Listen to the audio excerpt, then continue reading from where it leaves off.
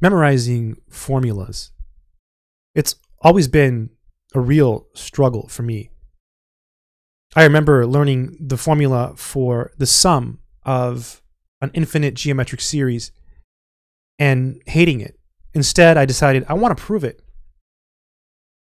In my experience, it's better to know how to prove things, how to prove the formulas, instead of memorizing them.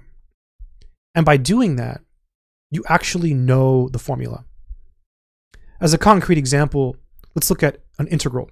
Let's take the integral of secant.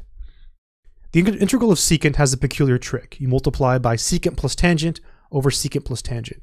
The trick is so peculiar and so weird that once you do it once on your own, you'll never forget how to do that integral. And you'll also memorize the integral. It's the natural log of the absolute value of secant plus tangent plus your constant of integration. But if you know how to do that, you know how to integrate cosecant. So it's better to know how to do it. Same thing with tangent and cotangent. Those require u substitutions. By knowing how to do those, you can actually do them in your head and you can memorize the integral of tangent. Let's see, let's do it. The integral of tangent, it's sine over cosine. You let u be cosine. The derivative is negative sine. It's going to give you a natural log. So it's negative natural log absolute value of cosine plus c. Boom. I just did it in my head. How? Because I've done it before. And that's how I remember the formula. And I think that's the best way to do it, in my opinion.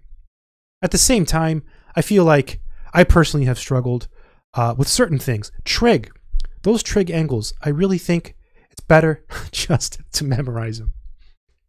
So if you're sitting in a class and you're having a hard time trying to decide should you memorize the formulas, should you not memorize the formulas, I really think it's better to just suck it up and memorize them.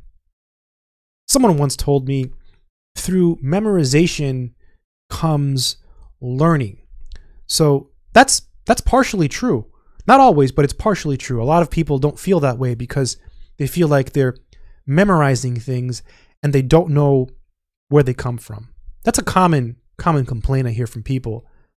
They say, "I don't know where this formula comes from. Why is this true? I hate memorizing stuff and not understanding. I think you have to get past that because math is so deep and there are so many formulas and theorems and propositions that the further you go, it's it's it just it just builds and builds and builds and builds. I mean, have you ever tried to read a math research paper? The the the words in there, you say, what is that? Okay, what is a what is a T set? a T set is this, and what is that? And you just it's like this long chain of definitions. It's just so, so deep. So it's better to memorize what you can and learn what you can. So if you're sitting there thinking, I really don't want to memorize these formulas, trust me, it's worth it. Sure, you might memorize them and you might forget them.